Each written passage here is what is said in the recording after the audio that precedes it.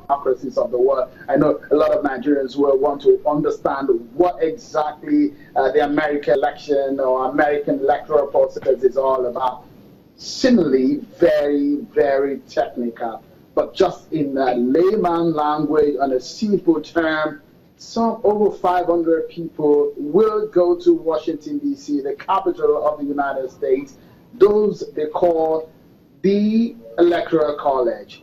They are delegates from political parties elected to represent each of the states based on the number of uh, votes allotted to each state. They would go together and at the end of the day cast the votes. They actually cannot do more than what the popular votes uh, in each of the states uh, uh, stands. Uh, I mean, what's the, the popular votes in, in, in, their state. So they will come together and cast the vote. So about 8 p.m. tomorrow uh, in the United States, local time here, we will start to know who is leading or who is winning. There are several polls, of course, in the United States. Of course, uh, some of them are saying the DNC candidate, the Republican candidate are leading. So different opinions here and there. But that's exactly how it's perhaps going to pan out tomorrow. Remember, Sulaiman, on Friday, voting, early voting ended in the United, in most of the states. About over 30 states in the United States are engaged in um,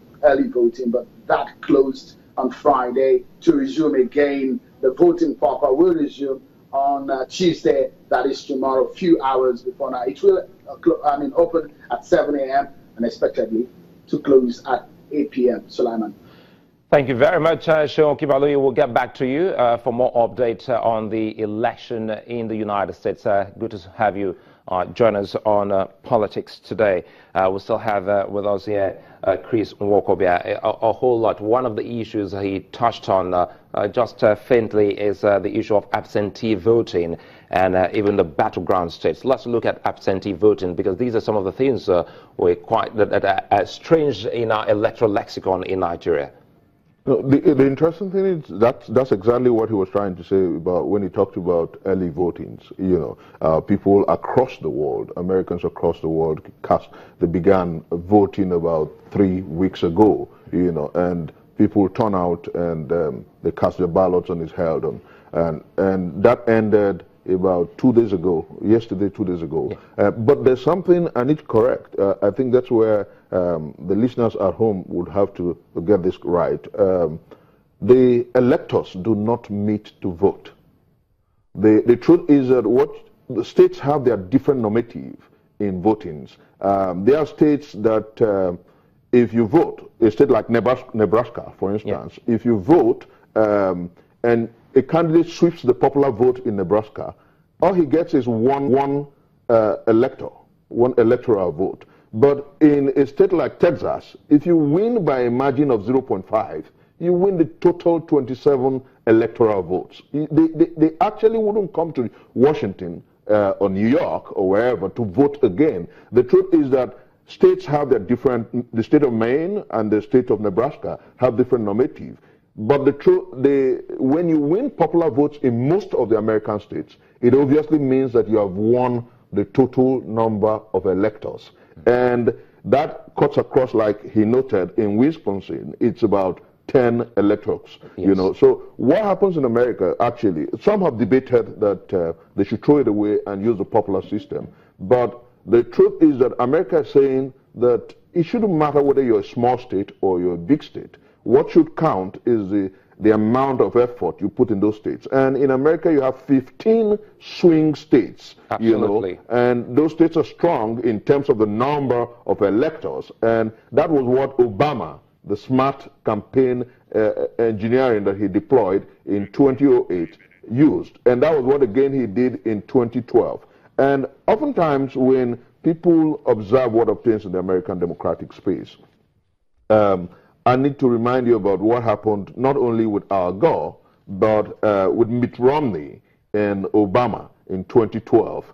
The, interestingly, Mitt Romney had almost the same situation with Al Gore. Uh, in 2012, Mitt Romney had 48% of the popular votes, but he had just 38% of the electoral votes. And so Al Gore, uh, uh, Obama won because he, he, he, he, he, he deliberately concentrated on the swing states. And interestingly, uh, so that you understand deeply the, the electoral college normative, in the state of Florida, you remember the Al Gore Bush situation. Absolutely. In the state of Florida, um, Bush had a marginal victory. You know, it was just a few uh, percent victory. Uh, but what he did, what they did was to cast, to, to call the 27 electoral votes. I, I think 29. 27. Uh, 27 it, electoral it, votes it's 29. in favor. It's, it's now 29. It's now 29. Yes, it's now 29. Okay, then uh, Florida and New York, yeah, respectively. You know, then it was 27, and they called it for him. You know, so that's exactly what happens with the electoral, and that's why uh, Hillary Rodham Clinton has been concentrating her electioneering processes and uh, uh, campaign engineering in the swing states. But again, if you look at, uh, at it quickly before we uh, go on our first uh, break here, you look at some of these places. Uh, for instance, California having 55, Texas 38, New York and Florida uh, both uh, having 29. what does this mean for these two candidates going for the elections? You know, the, the interesting thing is, I, I think that it's for me exciting that you have to do so much work. You, so much. You not, all, you not only have to concentrate on winning the popular votes, but you have to win the people's representatives impliedly.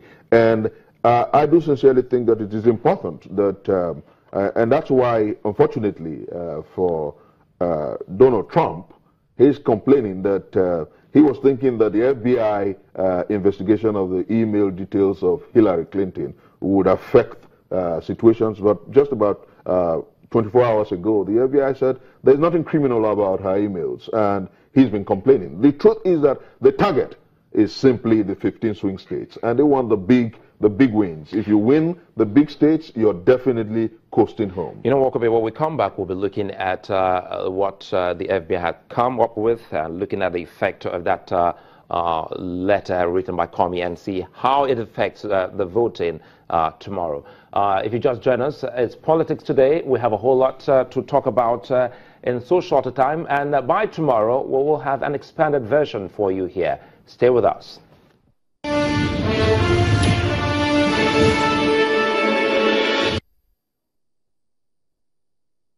Updates from our reporters. Maria Bird in Washington, D.C. Seun Okinbaloye in Wisconsin, Ayotunde Balogun in Washington, D.C.